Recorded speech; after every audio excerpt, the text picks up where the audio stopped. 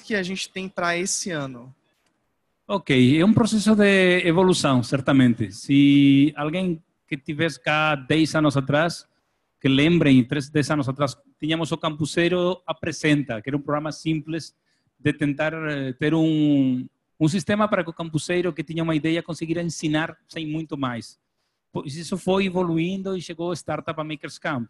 Agora temos também o Campus Future. Se vocês vão lá fora, veem que tem um, uma linha que começa com o Campus Future, onde estão projetos que ainda não são startups. São caras que estão na universidade, que têm uma ideia, querem fazer alguma coisa, mas ainda não estão num processo de maduração como para virar negócio. E vai avançando até chegar no Startup Makers Camp, onde estão as startups já constituídas, reais, que, que, que precisam outro tipo de ajuda, que precisam investimento. Então, agora com a plataforma, tentamos que todo isso que está à disposição na semana da Campus Party esteja à disposição do campuseiro ao longo do ano, não só uma semana. Então, estamos evoluindo na medida das nossas possibilidades para ajudar o que nós podemos. Ok? Obrigado. Alguém tem mais perguntas? O Bruno já chegou? Hum, alguém? Uma pergunta? Não? Então, posso ir almoçar? Sim? Obrigado. Aí está o Bruno. Um aplauso para o grande Bruno.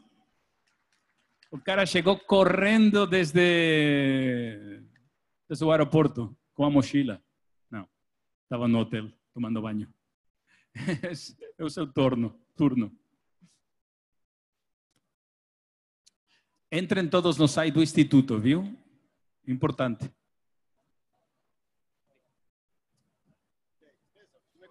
Deixa eu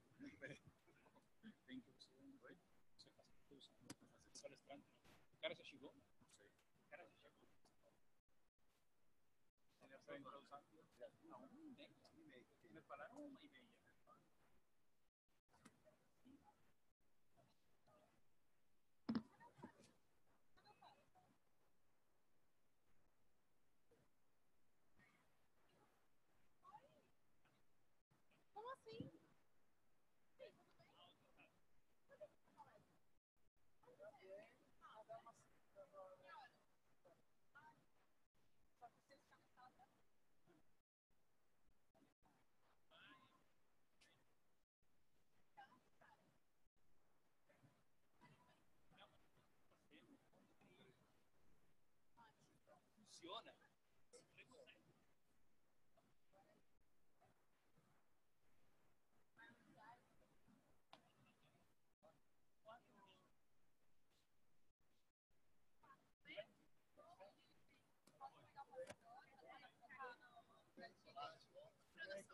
Já chegou.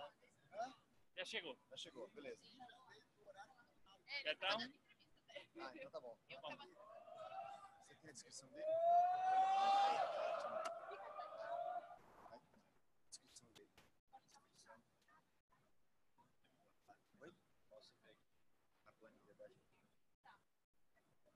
Acho que sem mais demoras aqui. Já, já tem, já tem.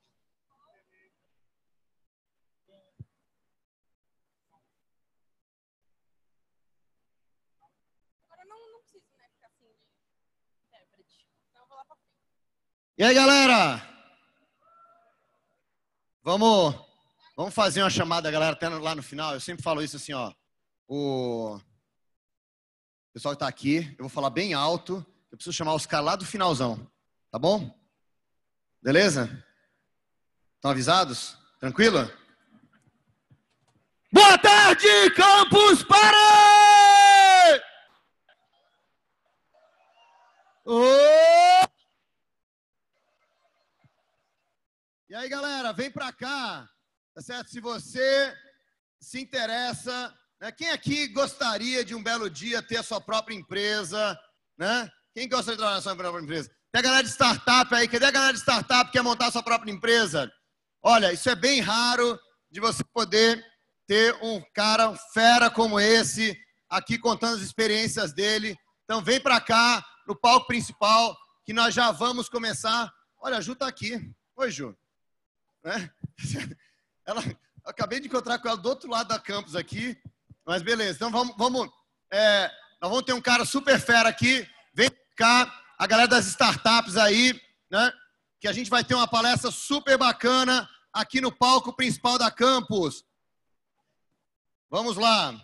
A gente vai ter aqui Caito Maia. Né? Quem aqui usa óculos? Né? Quem usa óculos escuro? Tá certo? Quem aqui usa o óculos que esse cara fez? Né? Aí, ó, você tá bem cotado aqui, hein, meu? Tá certo? Né? É por isso da palestra, já vem, já vem de óculos para a palestra, é isso? É assim mesmo, né? É isso aí. Quem gosta tem que, tem que usar o produto, não é isso? Então é isso aí, galera. Vem para cá, aqui no palco principal da Campus Party, Caito Maia. Vai falar que ele é fundador da Chili Beans, vai contar a história da fundação dessa marca fantástica. Então, né? Vem para cá, tá tudo pronto. Mais um minutinho, só para dar um minutinho para o pessoal chegar, né? Para dar tudo certo e a gente poder começar. É muito difícil fazer isso? Não? Mas só que você tem que traduzir para eles, que eles não sabem o que eu estou perguntando para você. é difícil, olha. Eu fiz durante muito tempo tradução simultânea do português para inglês, né? Ou do inglês para português. E é difícil pra caramba já essa. Dela aí é muito mais difícil ainda. É isso aí, galera. É, já tá, tem bastante gente aqui. Vem para cá, né? Que vai começar a palestra. É o primeiro magistral da campus. Você sabe que a campus aqui, a gente tem vários magistrais bacana, gente de super peso aqui na frente, para a gente poder é, falar de coisas muito legais para você. Né? E esse é o primeiro magistral da campus. Quem aqui está na primeira vez na campus? Tô sem, tô sem celular. Oh, a galera aqui está na primeira vez na campus. Vamos ver quem é que está aqui há mais vezes na campus? Vamos descobrir rapidinho quem está mais vezes na campus? Quem aqui está duas vezes na campus? Três vezes na campus? Quatro? Cinco? Cinco já está em pouquinha gente. Vamos ver. Seis? Seis vezes na campus. Sete? Né? Pode ser sete ou mais, tá? Assim, sete vezes já, né? Sete, oito. Oito vezes na campus. Oito ou mais vezes na campus. Cara, só tem um cara. Dois aqui, mais um ali. Beleza. A senhora tirou várias fotos minhas na campus, hein? Onze vezes na campus. É isso aí. Tá certo? Então, ó. Quem aqui tá oito vezes na campus aqui, ó? Oito ou mais. Tem um cara ali, o cara ali. Pergunta para eles o que, que, que tem que fazer para fazer a campus, a campus massa, que ele sabe muito bem. E o Lambi Lambi ali, ó, pode tirar foto com ele, né? Que ele vai tirar foto para você. Galera, sem mais delongas, eu quero. Muito obrigado. né? Sem mais delongas, eu quero chamar o palco principal da Campus Party, Caito Maia, fundador da Chili Beans. Ele vem contar a história da criação da marca, né? até se tornar a maior empresa de óculos da América Latina. Uma grande salva de palmas e um grande ô! Ô! Ô!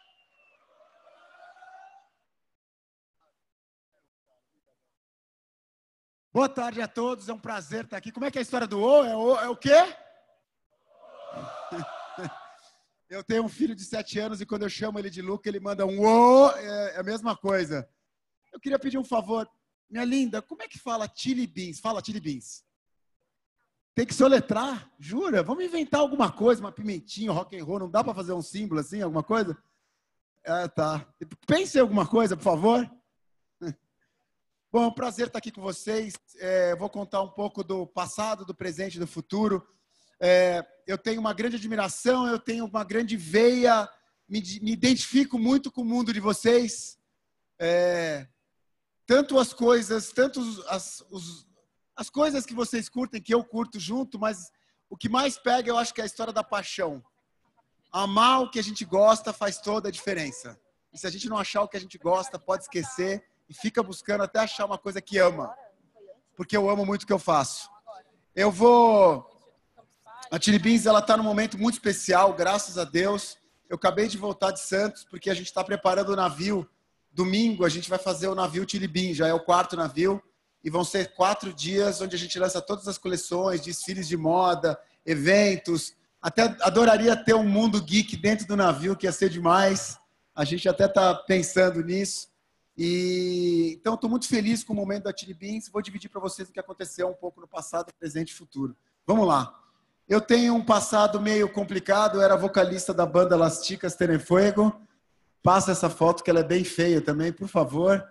É, a minha formação acadêmica é de música. Eu fiz, eu estudei numa escola de música nos Estados Unidos e eu morei na Califórnia um tempão e eu comprei 200 óculos de um camelô, que por, por sinal está lá até hoje.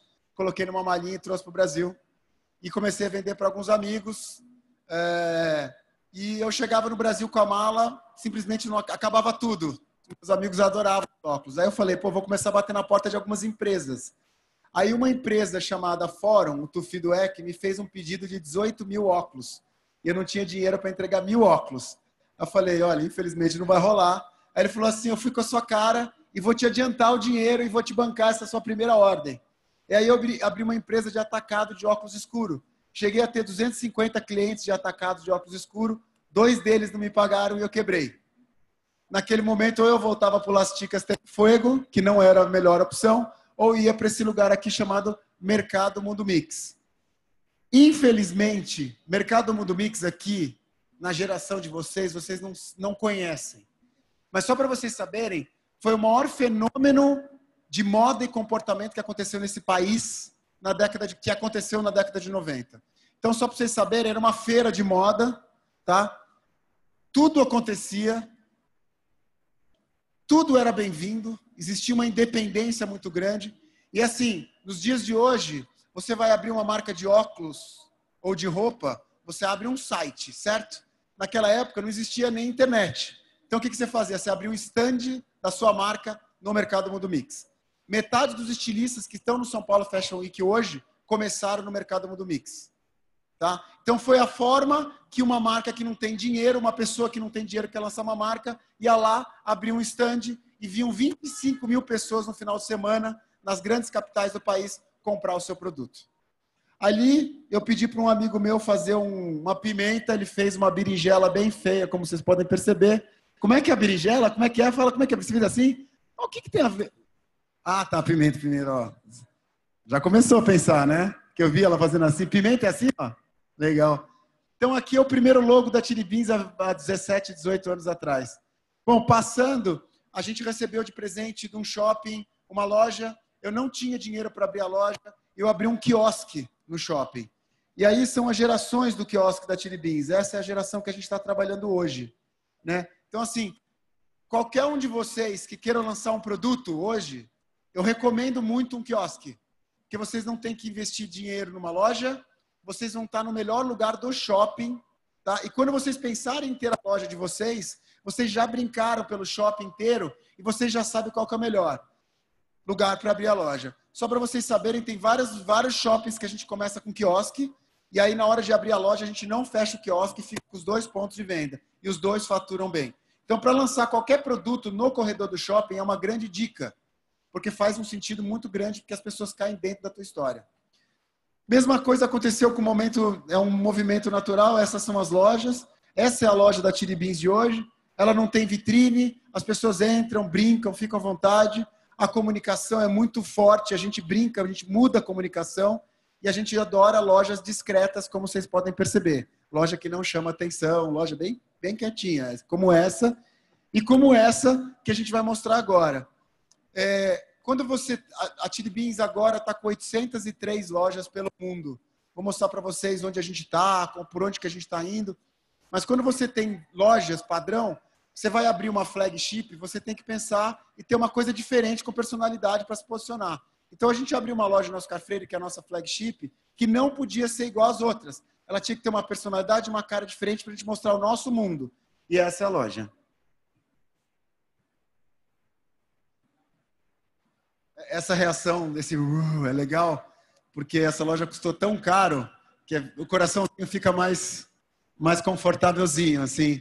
Queria convidar vocês para entrar dentro da loja.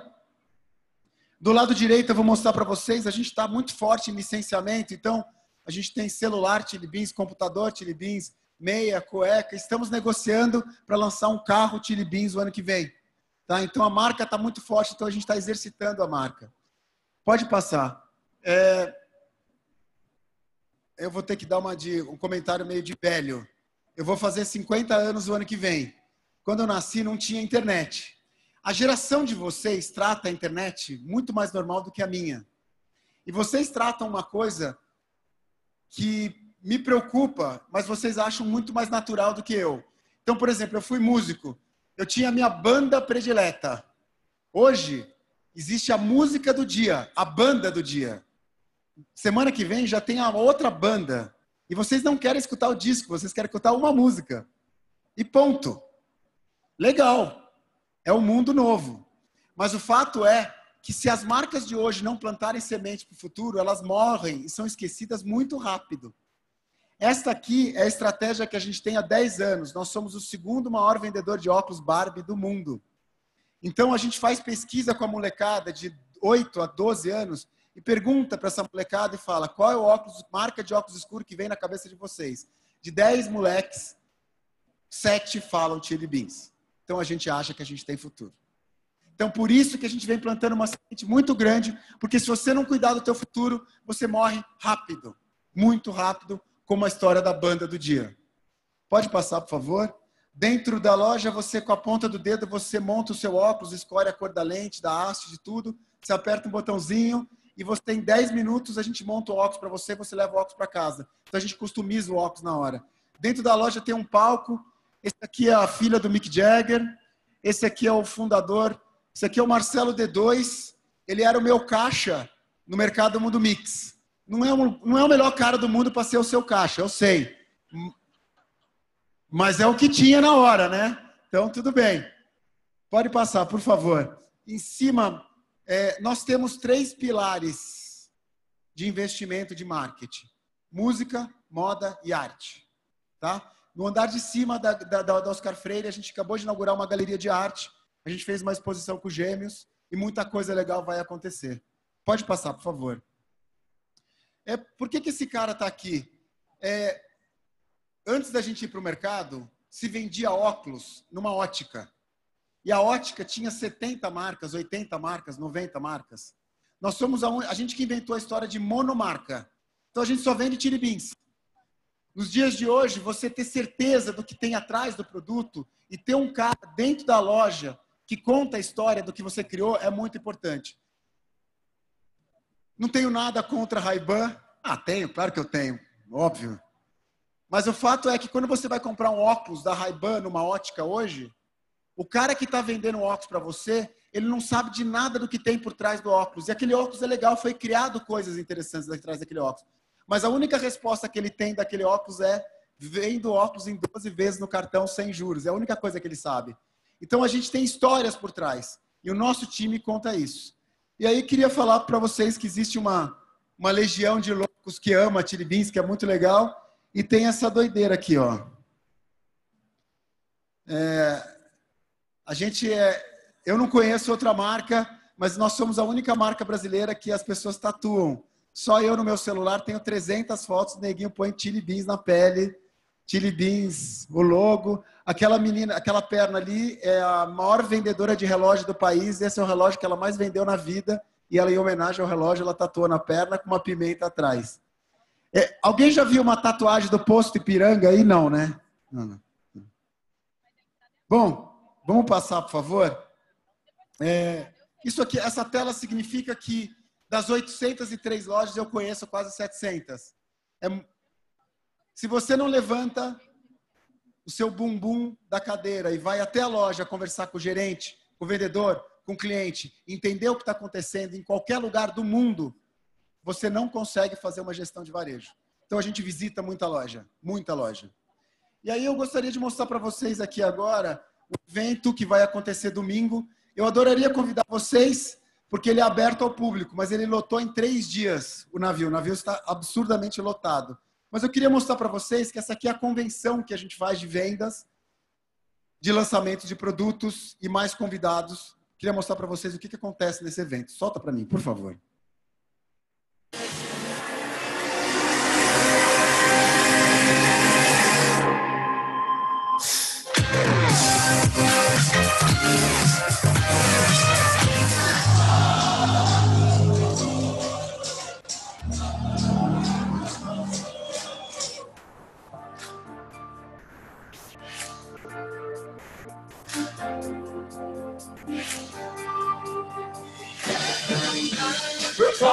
Trap. I can't walk out. Se você não acreditar em você, quem vai acreditar? Você tem que ser a primeira pessoa, né? O KLJ fala uma parada que é muito foda. Acredite, inclusive, em você. Isso é muito mais uma história de amor minha com a Chile desde que eu sou nova do que qualquer outra coisa.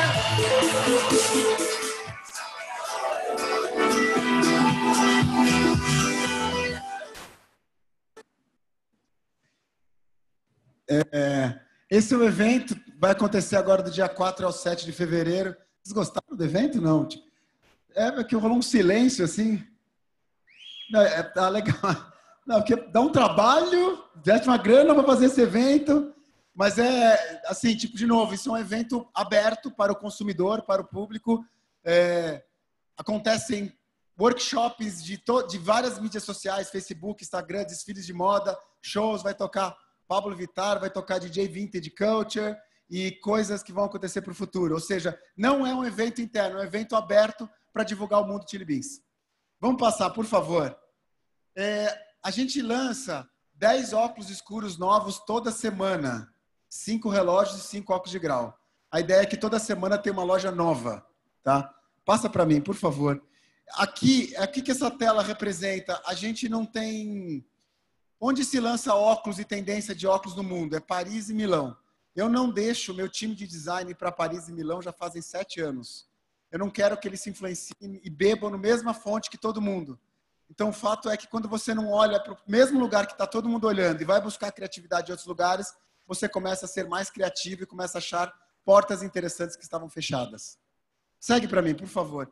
Aqui é quando a gente lançou uma coleção no São Paulo Fashion Week, a gente fez uma é, a gente fez um óculos gigante e levou o Iggy Pop, que é o cara que inventou o punk no mundo, para quebrar a lente desses óculos gigantes do São Paulo Fashion Week. E deu uma confusão sensacional do jeito que a gente adora. E todas as mídias brasileiras, inclusive da América do Sul, foram entrevistar esse cara. Eu tenho uma, eu tenho um termômetro que é minha mãe. Minha mãe me liga, fala: "Filho, você tem certeza que você vai fazer isso?" Eu falo: "Puta, mãe, vou, vou." Ela falou: "Mas você vai trazer esse velhinho tão feio pro Brasil pagar essa grana toda?" Eu falei: "Vou, mãe. Ele é legal e ele vai parar o Brasil." Dito feito. Vou mostrar um vídeo para vocês engraçado do que aconteceu do finado CQC. Foi uma entrevista que fez com ele, foi divertida. Solta para mim, por favor. Ele ensinou o Maurício Meirelles a como ser uma estrela do rock, a ser um eterno rebelde. E você vê isso agora. Vai! Estamos na São Paulo Fashion Week para falar de quê? De estilo? Não.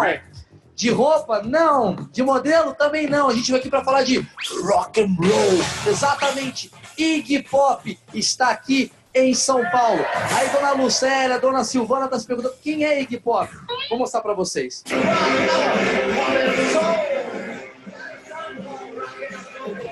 Bom, ele veio aqui para São Paulo Fashion Week, quebrou tudo, quebrou esses óculos aqui, quebrou muito mais coisa que você vai ver agora comigo, exclusivo para vocês no CQC.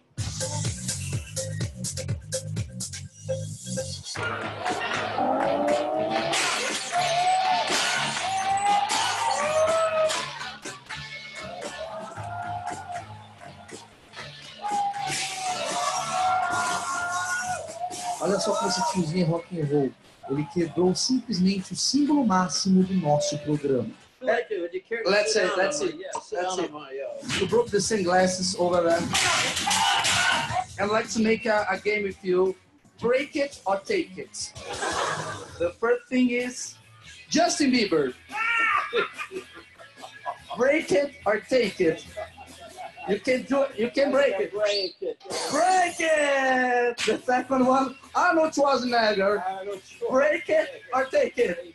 Break it. This, the Brazilian girl. This Brazilian girl, Paola Oliveira is her name. Break it. You take it. What do you think about the Brazilian girls? The Brazilian girls, the best one. Wonderful, warm, warm people. Ah. This guy is a, a guy who plays samba in Brazil. His name is Belo. He, he, he thinks he's gorgeous here. Break it or take it. Well, I, no, I don't know him, so I can't. I So can't- break, I will break it. I hate him. And to finish, me. You know, buddy. break it. Very nice. Okay. So can fuck you. Okay, let's make it okay. Fart. Fashion fart.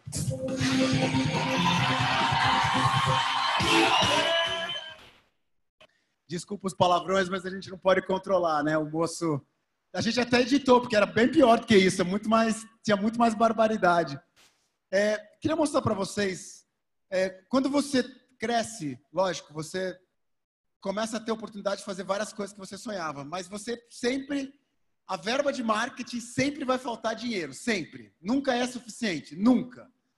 E aí você vai fazer, a gente patrocinou o Rock in Rio, e a gente tinha uma graninha para fazer. Só que a gente tinha que usar de criatividade. O que a gente fez? A gente fez uma igreja no Rock in Rio. E a gente casou as pessoas de verdade. Tá? E assim, você, você, vocês eram casados por uma juíza e saíam com um documento escrito casado na cidade do rock. Então, é, isso no evento era bem pequenininho, era uma igrejinha, mas em mídia social, online, isso explodiu no, no Brasil inteiro. Para vocês terem ideia, é, a gente ganhou um presentinho que naquele momento que estava aquela barbaridade de dizer que homossexualismo era doença, ah, o Fantástico falou, tem uma empresa casando duas meninas nesse momento numa igreja no Rock in Rio. Aí aquelas duas meninas estavam lá e o Fantástico transmitiu ao vivo o casamento das duas. Então são coisinhas como essa que a gente vai fazendo, indo no caminho para ter personalidade, para deixar a marca dentro das nossas possibilidades. Passa para mim, por favor. É, essa cena dessa moça chamada é, Rita Lee, que é o seguinte: há 10 anos atrás a gente percebeu que se a gente continuasse vendendo óculos escuro, a gente ia morrer. Porque todo mundo vende óculos escuro. Então a gente começou a criar história por trás dos óculos escuros. Então essa moça, Rita Lee, foi no escritório da Chili Beans, ela nunca tinha feito nada com nenhuma marca.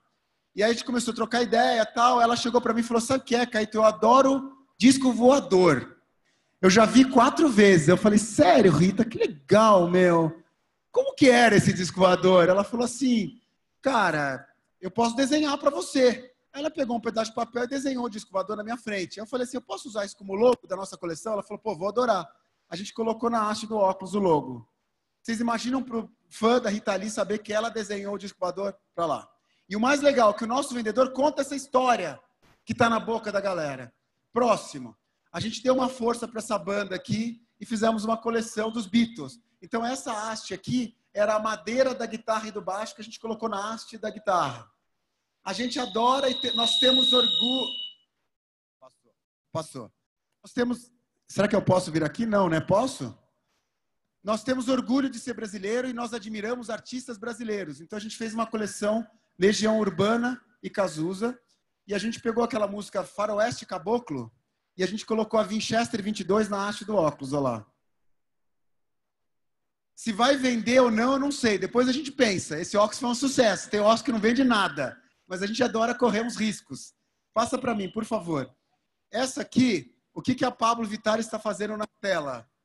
É uma coisa que a gente percebeu muito, e vocês sabem muito melhor do que eu, que assim, da, da noite para o dia, a minha geração, o meu consumidor, ele simplesmente ignora uma televisão. Eu tenho, faço pesquisa com meu time, e aí eu perguntei para um vendedor meu de uma cidade interior de Minas Gerais, quando você chega em casa, o que, que você assiste? Computador, televisão ou celular? Ele falou assim, eu fico no celular. Inclusive, meu pai me deu uma televisão de presente e eu devolvi ela semana passada porque estava ocupando espaço na minha sala. Esse é o futuro. Então, a gente anunciou na Rede Globo durante anos. E a gente agora está num outro caminho, onde a gente investe em mídia social muito forte que, que a gente fez? A gente tinha uma coleção de moda, a gente escolheu pessoas que interessavam para a gente naquele momento. Nós levamos para o estúdio, fizemos o post e às 7 horas da noite, essas pessoas, a gente lançou uma coleção e falamos com 55 milhões de pessoas no Brasil inteiro.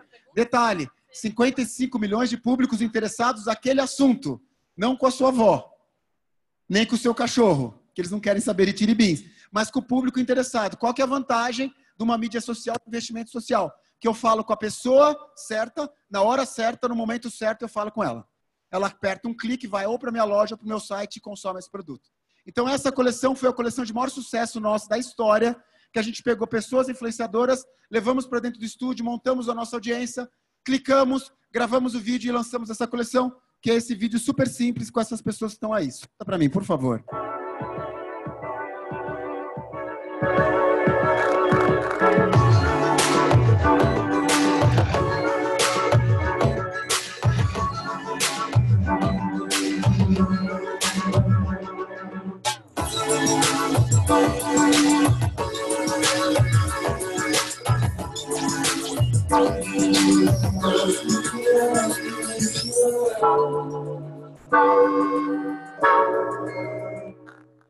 Por exemplo, esse ano nós vamos lançar a coleção Chili Beans Harry Potter. Como que a gente foi fazer essa coleção? Eu chamei as pessoas que mais amam, que os canais, que as pessoas que mais influenciam o Harry Potter, que adoram tem o canal, chamei eles para dentro da Chili Beans e falei: como vamos entender qual que é o mundo do Harry Potter? Onde eu vou lançar essa coleção? No canal dessas pessoas. Então esse é o jeito que a gente está fazendo mídia hoje. Vamos passar, por favor. A gente lançou uma coleção de lente fosca. É uma lente que como se você estivesse na sauna. Ela é fosca por fora e por dentro você enxerga perfeito.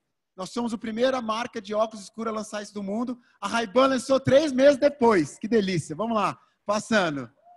Essa aqui é a coleção do Alok, é um DJ. A gente pegou o fone de ouvido dele e eu peguei e fiz exatamente a haste do óculos igualzinha do fone de ouvido. Tá vendo ali o fone de ouvido? E a haste dele igualzinha.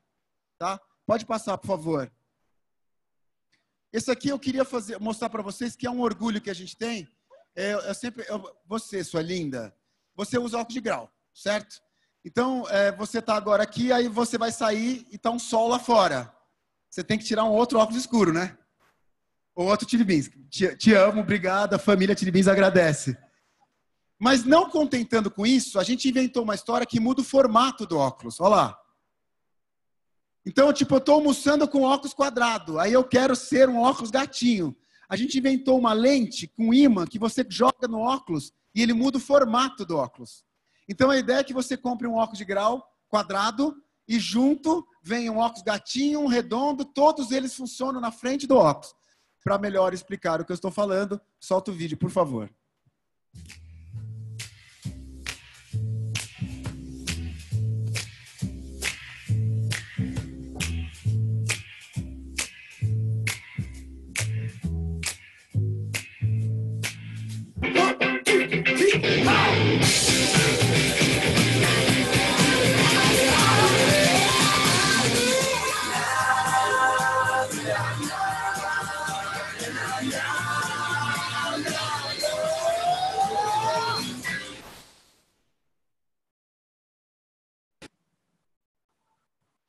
É, deixa eu ver. O que, que vem agora? Conta para mim aqui, por favor. Bom, queria dividir com vocês um pouco de mundo, né? Nós já estamos em 19 países. Queria mostrar algumas lojas para vocês da Chili Beans pelo mundo. Então, essa aqui é em Huntington Beach, na Califórnia, onde tem o maior campeonato de surf do mundo. Essa loja aqui em Beverly Hills. Essa loja em Las Vegas, desculpa. Essa loja aqui em Santa Mônica, os maiores calçadões do mundo. Esse calçadão é onde tem as marcas mais importantes do mundo na frente da loja da Chili Beans é a segunda loja que mais vende da Apple no mundo, na Califórnia, em Santa Mônica. E aí apresento para vocês Chili Beans escrito em árabe, aí ó. Nós temos 35 lojas no Oriente Médio. A gente vendeu uma massa franquia para um sheik árabe do Kuwait e a gente está muito bem lá, quer dizer, um lugar que só o ano inteiro fica fácil.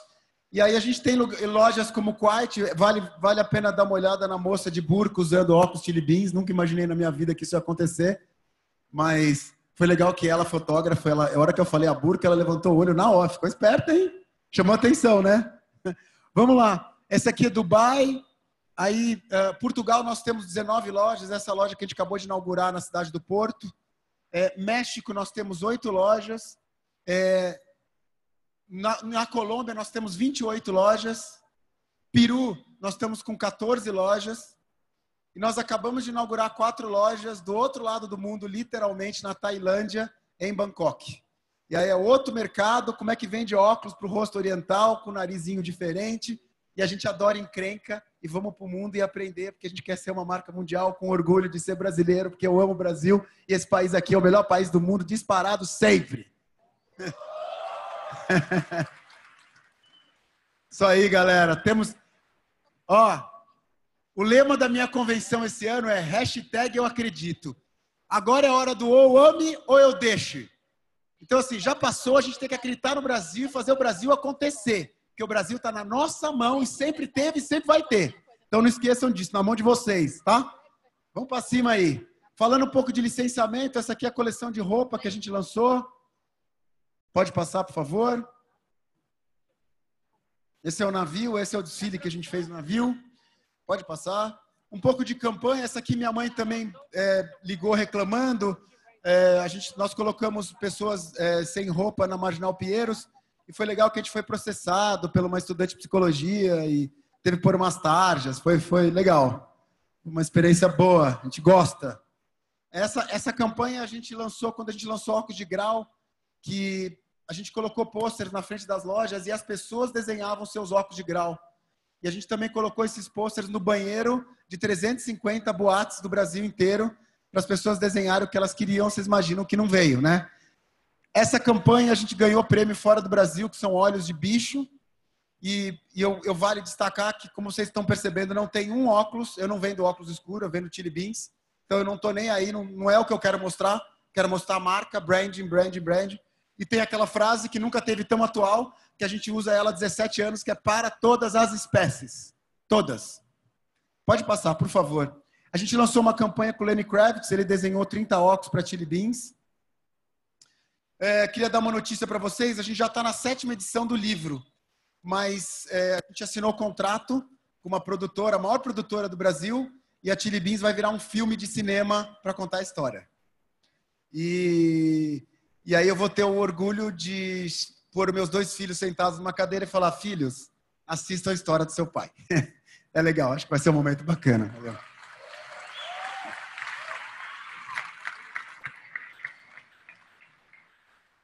Falar de filho e ficar velho, eu fico emocionado na hora, né? Uma...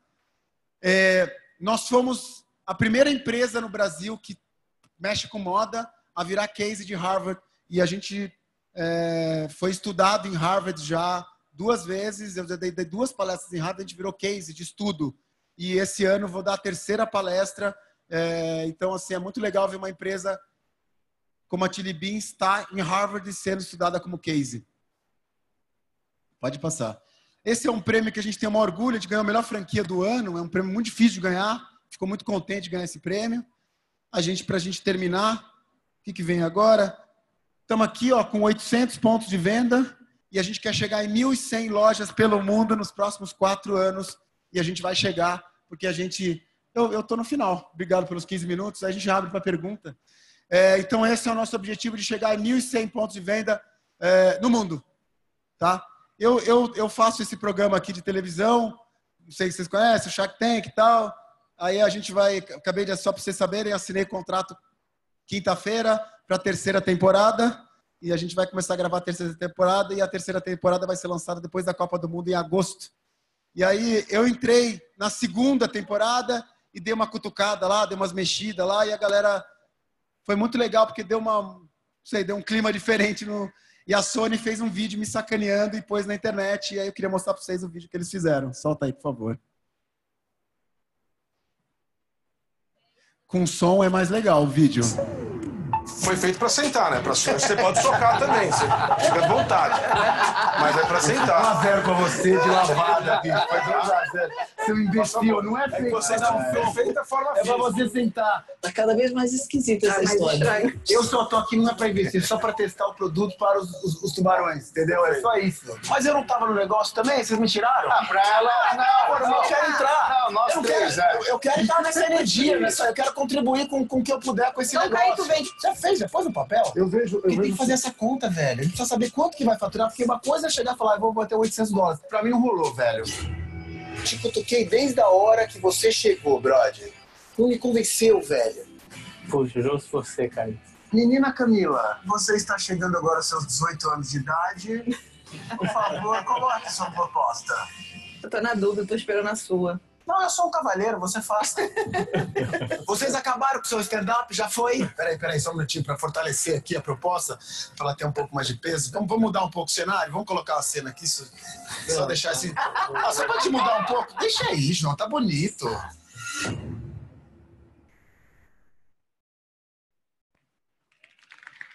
Obrigado. Eu posso, eu queria só para terminar, queria registrar esse momento aqui com vocês, com essa energia é, energia criativa, energia de futuro, energia de mentes que acreditam no futuro e que fazem, que, que acreditam e vão mudar o mundo. Se vocês não se incomodarem, eu gostaria de fazer um, um selfie com vocês. Pode ser, galera? E, se puder rolar um rock and roll no selfie, a gente agradece aqui. Não, faz a fotinho aqui para mim. Minha, minha senha é 1313. Vem aqui, meu amor. Sobe aqui, dá a mãozinha. Sobe por aqui. É difícil? Daqui, eu te ajudo. Pronto, pronto. Tá fácil. Pode ser, galera, para gente registrar aqui, ó. Vamos lá. Peraí. Fazer a propaganda aqui do Oxford.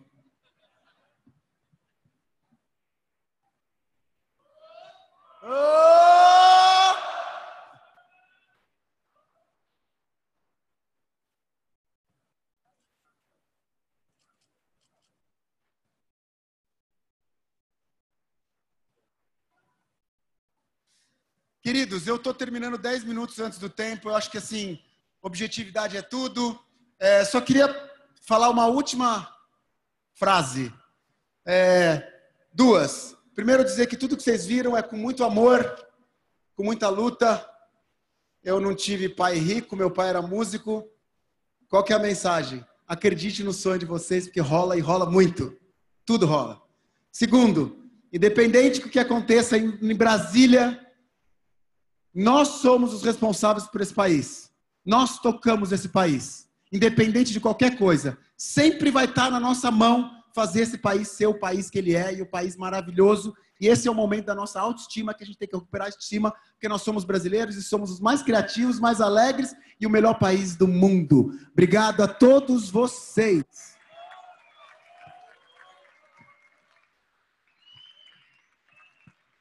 Vamos terminar com o quê? Vai! Mais uma vez, mais forte agora. Vai, vamos!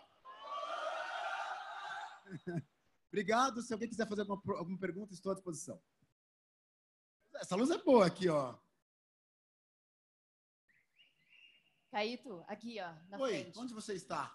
Com óculos A, a mo- aqui, né? a moça que está usando o óculos da Beans do Ronaldo Que Fraga. brilha no escuro. É isso, nossa senhora.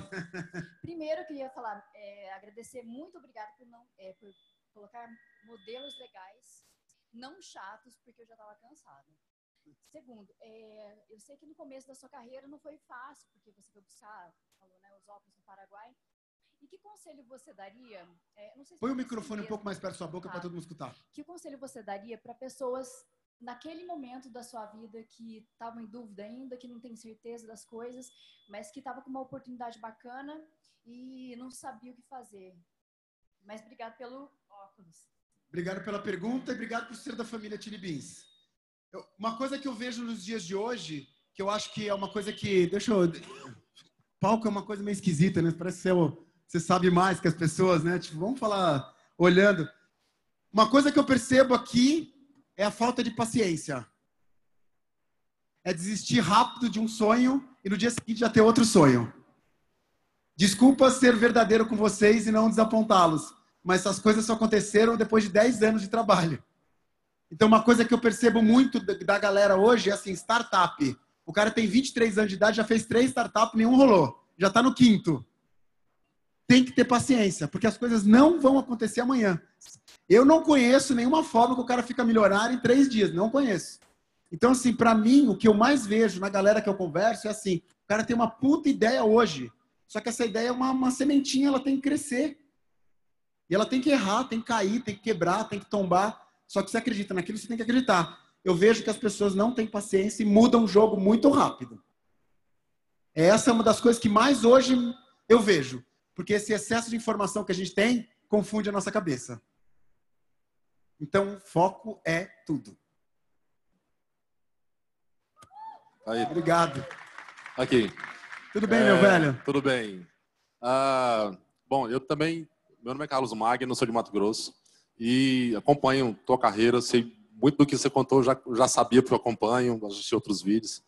E assim, eu também toco, canto, já estudei música. E eu queria saber uma coisa mais pessoal sua, porque depois que você abraçou mesmo a Chili Beans e levou a Chili Beans, eu não vejo você falar mais da música na tua vida, né? Eu queria saber, assim, do teu comportamento com a música, se você toca em casa, se você é, em reunião de família, com a galera, se você reúne a galera da banda de vez em quando para poder ouvir o que, que você ouve, o que, você gosta. Como é que tá a música hoje na tua vida, pessoal?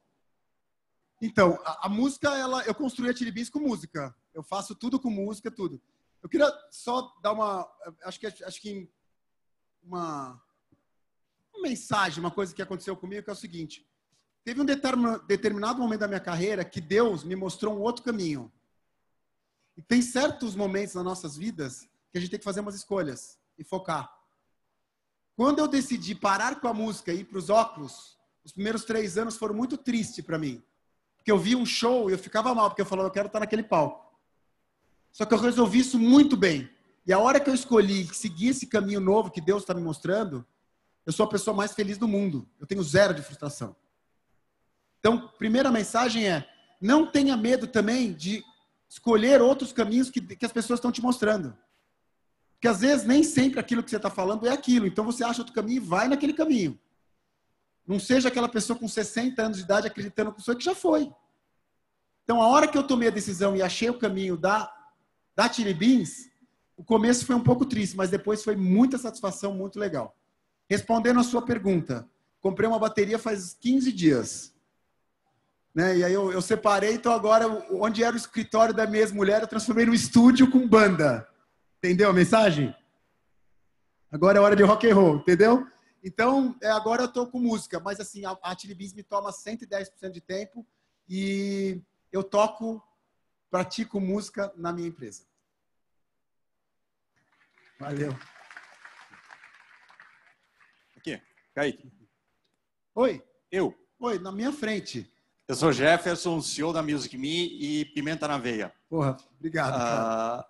Uh, o Shark Tank eu assisto e lá a maioria dos tubarões eles sempre querem abocanhar mais de 50% do, das startups. Se lá no começo da Chili Beans alguém propusesse isso, abocanhar essa fração da tua startup, o que você pensaria enquanto startup e quanto investidor? O teu ponto de vista no, nesses dois sentidos. Ó, eu como tubarão se o cara quer vender 50%, eu já pulo fora. Porque eu preciso até fazer um teste de você, o quanto você está ali só para ganhar dinheiro, o quanto você ama aquele negócio. E sem você com tesão no negócio, não funciona. Então eu não quero comprar 50%. Eu vou até 25, 30, porque eu preciso de você na veia, porque é você que vai tocar o negócio. A hora que eu matar a sua essência, eu morri. Eu, a gente matou o negócio. Entendeu? Então essa é a visão que a gente que eu tenho como Shark Tank. Eu tenho uma coisa lá que eu acho que é diferente dos outros. Que assim, você não pode exigir de um cara que está começando um negócio o nível de sabedoria que o cara tem hoje. Teve um caso lá de um menino que ele inventou uma prancha de surf que era para substituir uma, uma esteira. O negócio era genial. Só que o cara, coitado, ele não sabia vender o negócio. Ele era péssimo para vender. Aí eu não quero falar para quem eu falei, mas eu falei: olha, você me desculpa, mas você não pode ser radical com ele. Eu, por exemplo, quando tinha a idade dele, eu sabia muito menos que ele. Ele está precisando de expertise aqui. Então, resumindo, são duas coisas. Eu não compro a mais de 30, porque eu preciso do tesão e do investimento, do amor do cara para tocar o negócio. E eu, Caíto, naquele programa, eu respeito o estágio que esse cara está vivendo. Se ele fosse um puto empresário, ele não estaria lá. Ele está precisando da gente. Então eu tenho esse cuidado com o ser humano, porque eu já passei por isso. Já me fecharam muita porta, e não é porque me fecharam a porta que eu vou fechar a porta para os outros. Esse é o meu pensamento. Caíto. Caíto, aqui, do outro lado. Do outro lado, é aqui. legal falar outro lado, que é legal. Tudo bem? Tudo bem. É, meu nome é Fernanda, eu também sou empresária, já empreendo há alguns anos. E, e você contou muito a história da Chili Beans e contou a parte bonita, mas empreender é um super desafio, ainda mais. Eu também amo o Brasil e acredito demais no Brasil, mas empreender no Brasil é um desafio maior ainda, né? Enfim, por todas as regras e regulações que a gente tem, tudo meio torto. E fala um pouquinho, de repente, de uma experiência que você tenha tido, que você tinha falado, que você parou e falou, caraca, será que agora eu me ferrei de verdade? Tipo, putz, como é que conta um pouquinho de alguma experiência que tenha sido um desafio que você teve que parar e falar, opa. Os meus últimos dois anos. Não é que faz 20 anos atrás O, o, nós acabamos de. Estamos saindo da maior crise desde a proclamação da República. A gente não tinha ideia do nível que ia chegar. E eu vi muita gente nesse país muito especial, muito honesta, fechando a porta. Eles não mereciam isso. Por erros de outras pessoas. Tá? Então, eu queria te falar o seguinte: qual é a mensagem que eu te dou? Quando você acha que você está ali bombando, Deus vem e fala assim, queridão, abaixa sua bolinha. Humildade. Porque por, mais, por maior que você seja, você tem muito que aprender. E esse é o momento que você tem que recolher suas armas, enxugar, prestar atenção, fazer sua lição de casa, porque senão você vai morrer e fechar a porta. Então a mensagem é: quando você está bem, pense, time que está ganhando se mexe. Tá? Então, só para você saber, não aconteceu há 15 anos atrás, 18 anos atrás. Aconteceram há dois anos, esses últimos dois anos, que eu tive um dos, foi um dos dois anos que eu mais aprendi na minha vida, com tantas incertezas e com tantas oscilações do mercado que eu nunca na minha vida imaginar que ia acontecer. E se você me perguntar qual que é a única coisa que eu, qual é o único risco que eu tenho do meu negócio? Competição acho super saudável, é, gosto de competição, tem um mercado informal que atrapalha a gente, falsificação, mas o maior problema e o maior risco que eu tenho no meu negócio hoje se chama o governo brasileiro. Porque esse é o único que não está no meu controle. Mas tá tudo bem, tá? Aqui. Oi. É, Caíto, meu Olá. nome é Vivian, tudo bem? Tudo bom, Vivian? Eu sou professora no interior da Bahia, dou aula numa universidade federal Nossa, lá que no legal. interior da Bahia. Qual a cidade? A cidade bem pequenininha chama-se Santa Maria da Vitória, Perto de. de Barreiras, Tá. a maiorzinha. Conheço. Barreiras, tenho loja em Barreiras, já fui lá É, umas eu já fui na vezes. loja lá. É, duas coisas. Primeiro que ano passado eu tive uma experiência bem legal com a Chili Beans, que foi exatamente quando eu fui prestar esse concurso lá. Era uma vaga para design. Eu nunca fui designer na vida e o design tem todo um estereótipo, né? Então a primeira coisa que eu fiz foi comprar esse óculos, Nossa, que legal. Que eu achei que eu ia fazer mais o tipo designer assim e, e rolou, Mas- entendeu? mas Você ficou com cara mais de design, você é, mudou. eu achei, eu Você achei. estava um pique mais professor, agora você está um pique mais design. Rolou, rolou, Fez rolou. toda a diferença. Então, muito obrigada. E outra coisa, eu queria, ainda pegando esse leque, assim, em relação à à educação, né? Você falou toda a sua trajetória e o pessoal que está aqui te ouvindo está pensando muito nessa coisa de como empreender, como se tornar uma pessoa melhor, né? Se diferenciar, se destacar nesse mercado. Como que você acha que a educação pode ser o diferencial para essa galera que está aqui e para os meus alunos lá também? Como é que você acha que isso Ótima, pode ser? ótima, ótima pergunta. O fato de eu não ter feito uma faculdade não significa que eu não gostaria de ter feito. Me fez falta. Me fez falta com técnica, com conhecimento. Eu me cerquei de pessoas muito boas. Eu só estou onde eu estou porque eu tenho um time maravilhoso. Então, se você me pergunta hoje, sim, as pessoas precisam se informar, ter técnica. Esse é o lado legal. Qual é o lado que me preocupa como empresário? Eu vejo que o lado técnico não tem prática nenhuma. E que as pessoas vão para o mercado, no dia que elas recebem o chapéuzinho, o diplominha, elas não sabem nem que porta que elas entram de uma empresa. E isso, para mim, é a coisa mais importante de todas. Eu acho que o ensino técnico, o ensino de uma faculdade, ele precisa ser muito mais vida real do que ele é.